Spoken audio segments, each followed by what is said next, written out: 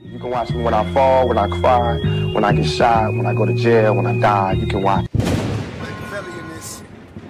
Your homie Gab is in the building.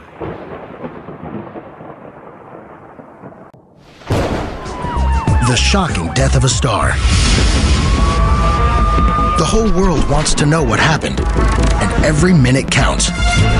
Now, for the first time, go behind the crime scene tape. With computer-generated forensic graphics and true-to-life reenactments, follow the investigation as police race against time to solve the case. In this episode, Tupac Shakur, rap superstar at age 25, brutally gunned down on the Vegas Strip. The arm came out of the back door and it started firing into Tupac. Learn how doctors helped Tupac fight for his life. He's had a right lung removed and he remains in critical condition. And how police missed crucial chances to find the killer. The police made so many mistakes during the investigation, it's difficult to catalog them all. Go deep inside one of the most notorious celebrity shootings in history. There's a lot of truth to be told, questions to be answered regarding that night. Next, on Famous Crime Scene, Tupac Shakur.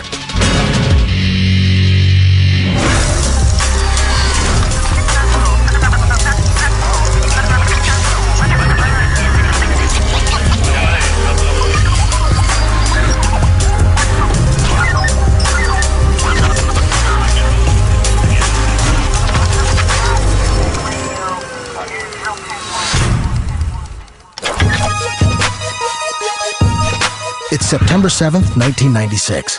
Tupac Shakur is in Las Vegas with Suge Knight, head of Death Row Records, to attend the Mike Tyson Bruce Seldon fight at the MGM Grand.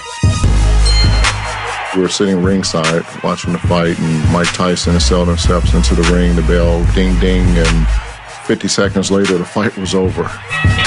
Mike knocked him out in the first round. Tyson and Pac were, you know, good friends. So we was in a pretty celebratory mood. Don't believe that! 50 punches are counted. So we um, proceed to leave at this time. We're going down Las Vegas Boulevard trying to get to my club at the time. It was called Club 662. We were directly behind Suge and Pac, and in our car was uh, Frank, the bodyguard, and two guys. They were going to a party. They sort of were cruising to get there. They had some time. New York, LA, just the West Coast. I want the East Coast too. Girl. And these gals are in one car and they turn and talk to them. Had said, "Hey, Tupac, Tupac, where you going? Where you going?" And it's like, "We're going to the club over to 662. Go over there." The convoy hits a red light at the corner of Flamingo and Koval. Two cars stop in front of the vehicle carrying Suge and Tupac. Tupac's bodyguard pulls up directly behind. With Suge and Tupac focused on the women on their left, they don't notice the late model Cadillac pulling up on their right. So now it's completely blocked in, and there's absolutely no, nowhere for him to go. The arm came out of the back door, and it started firing into Tupac. Bang, bang, bang, bang. And once it stopped, all you saw was all of this smoke going up in the uh, air. It definitely seemed like everything slowed down, and I just remember thinking, man, they shooting forever. And the car just took off. I grabbed Pac, I pulled him down. I got shot in the head with a, I still got a 45 bullets that entered to my skull.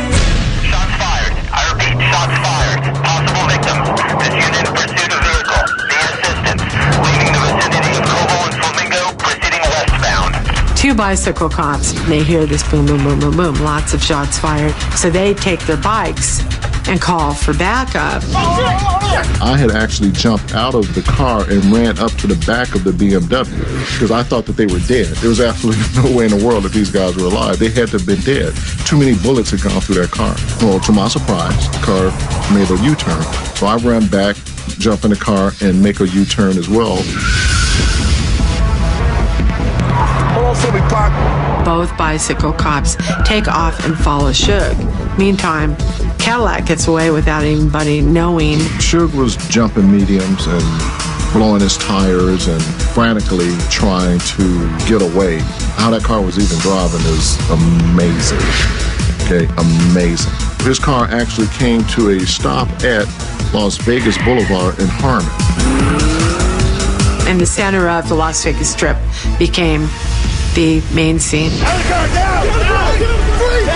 The cops arrived on the scene. They didn't know what had happened. They saw this shot up BMW, you know, screaming glass, you know, blood. They pulled everybody, including Suge, out of the car, and Suge didn't want to get out because he wanted to stay with Tupac because he was injured. At that point, Tupac was still conscious. The Police didn't know whether he'd been shot or whether he was involved in the shooting. I gets out the car, I tell the police, I'm saying, hey, slow up. They got the guns drawn out on us. I'm saying, look, I'm shot, he shot, slow up. They said, you want to get shot again? Hey, be quiet. There's a lot of police all over the strip. You know, they, they came out in full force. Oh, we, we need an ambulance. Get out right now. Don't move. Suge was on the ground. And I said, that's the CEO of our, our record label. He's a victim here. So the police let uh, Suge up off the ground, and Tupac was still sitting in the BMW. And for whatever reason, the door wouldn't open from the outside. They couldn't get Pac out the car because they didn't know to open the door and take the seatbelt off. So I did. So he opened the door, and we pulled Tupac out of the car, and we laid him on the ground. The ambulance approached, and he's laying there, and he takes a breath, and he crosses his hands just like this over his body. And he goes, that was the last breath I ever saw him take on his own. Tupac is barely conscious as EMS workers load him into the ambulance and rush him to the University Medical Center. With the injured evacuated and the area around Suge's car secured, police begin their investigation. Harmon and Las Vegas Boulevard became the focal point for the police, for ambulances and everything. We were cuffed and interrogated right there on the Vegas Strip. You know, we got tattoos and whatnot, so it was like, what gang you in? And they was like, who did you see? Can you give us a description? Witnesses at the shooting scene tell police that Tupac and his entourage had beaten up a man earlier that evening, supposedly payback for a run in between the man and a member of Tupac's crew one month prior. After the fight in the MGM, one of Suge's uh, homeboys came over and he whispered into Tupac's right ear. Well, when he whispered into his ear, Tupac shot off. They ran up to this guy and he started throwing blows at him. The rest of the entourage uh, approached him as well, and he uh, started, you know, kicking him and you know fighting him while he was down on the ground. Suspecting this may have been the motive for the shooting, police speak with security staff at the MGM, but they can provide no details. Security did not take an incident report because the person they were kicking and stomping on, he said no, he wasn't going to press charges. And they didn't even know who the person was other than they had his first name, Orlando.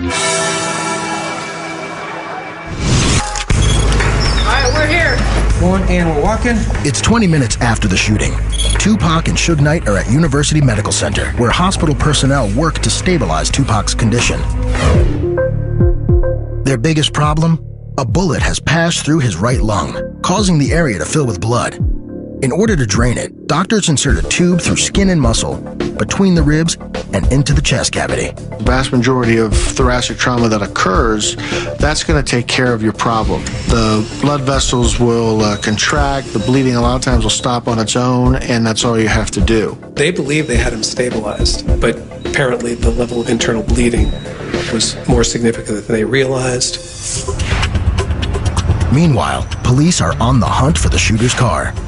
We are looking for a suspect vehicle, which was described as a white Cadillac, newer model Cadillac. That's all we have on it right now. We have our crime scene analysts who's gathering evidence. The police made so many mistakes during the investigation, it's difficult to catalog them all.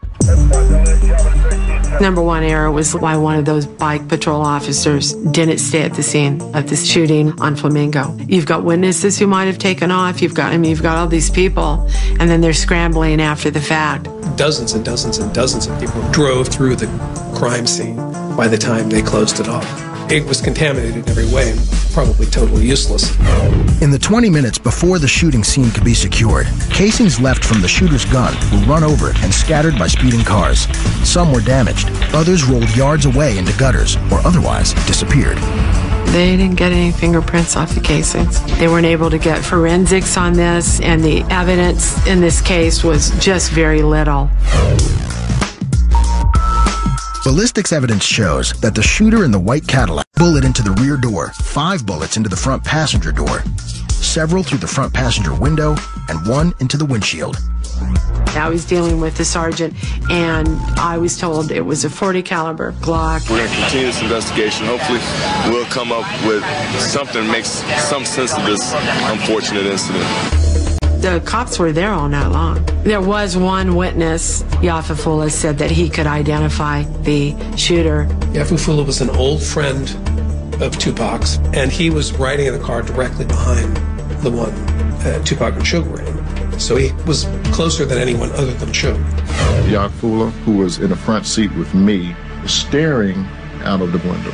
So he saw the Cadillac before it even approached the car. And he told the police right off, I saw who did it. And it's stunning to think that, okay, he said that and they didn't say, yeah, who is it? But they didn't. They said, okay, we want you to come in and make a statement.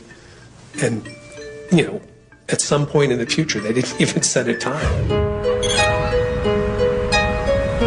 Detained on the street by police, Tupac's entourage are anxious to know their friend's condition. They had us sitting out on the Vegas Strip for about two hours. And uh, they just let us go. Everybody went to the hospital. Definitely worse than any of us could imagine. They had breathing machines on him. He was bandaged and everything. In an attempt to stop the internal bleeding, doctors decide to take the damaged lung out. They make an incision in Tupac's chest. Then part of his rib cage is removed, allowing surgeons access to the area. The lung is collapsed and blood vessels tied off. Then it is clamped, cut, and removed through the incision.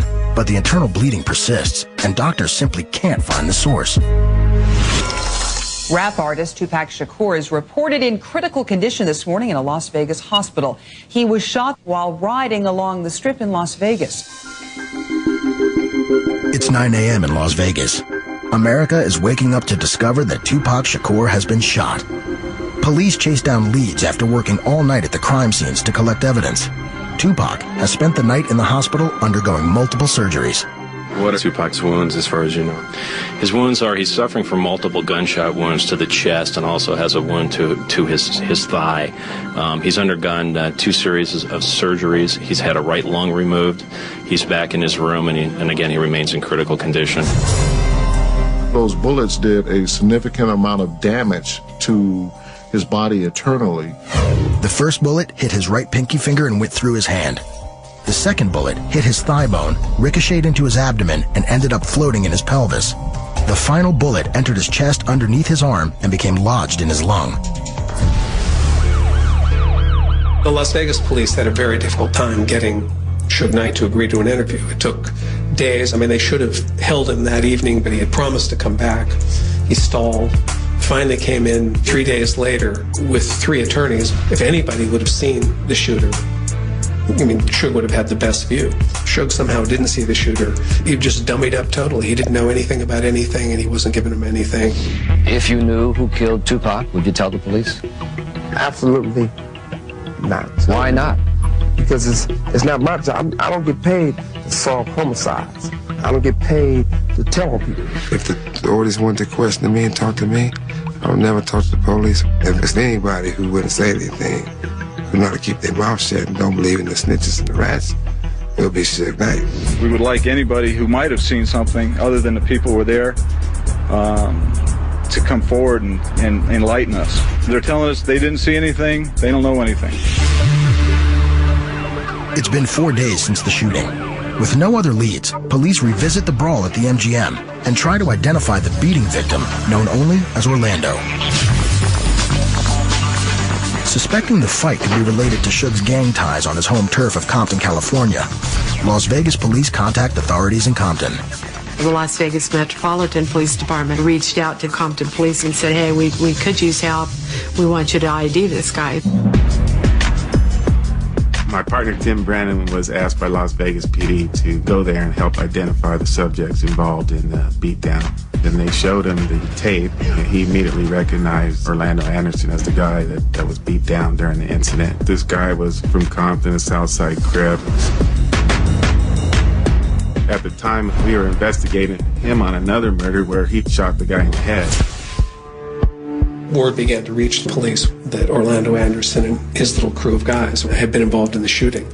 Orlando Anderson. He's a ruthless killer, and that's the type of guy that they were dealing with out there in Vegas. Um, but I don't think they had that any idea of that at the time.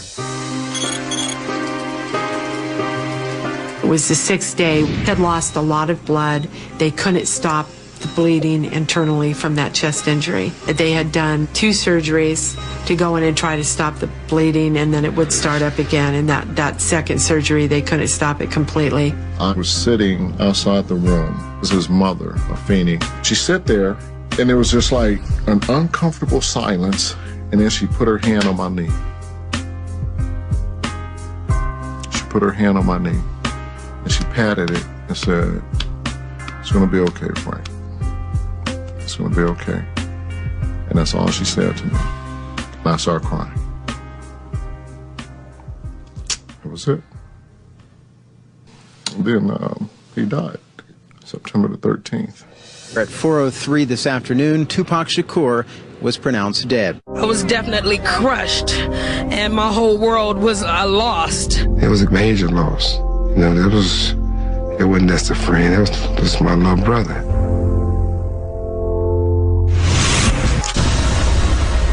Weeks have passed since Tupac Shakur succumbed to his wounds. Las Vegas police are finally zeroing in on their prime suspect, Orlando Anderson, with an assist from the Compton PD. So my partner Tim Brennan came back and we decided in a two-week period to put together this massive gang search warrant. And we did this so we could help Las Vegas with their investigations. So Las Vegas police went down to Compton. Uh, one of the detectives on the case actually talked to Orlando Anderson. Orlando Anderson, he wouldn't say anything about Tupac's murder. I don't know anything about that. No, I was not involved. I mean, I'm like a victim. You know what I'm saying? I feel, you know what I'm saying, sorry for him. Vegas let Orlando go and said there wasn't enough evidence to arrest him.